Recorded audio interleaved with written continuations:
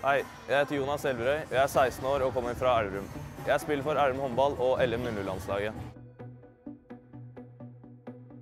Mitt høydepunkt i håndballkarrieren må være turnering i European Open i Sverige i denne sommeren. her.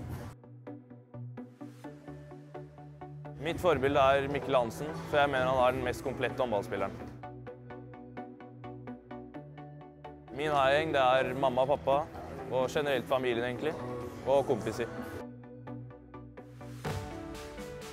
Antidoping for meg det er ren idrett og sunne verdier. Mitt fremtidsmål er å komme meg på A-landslaget og komme meg til utlandet, i de største klubbene i verden.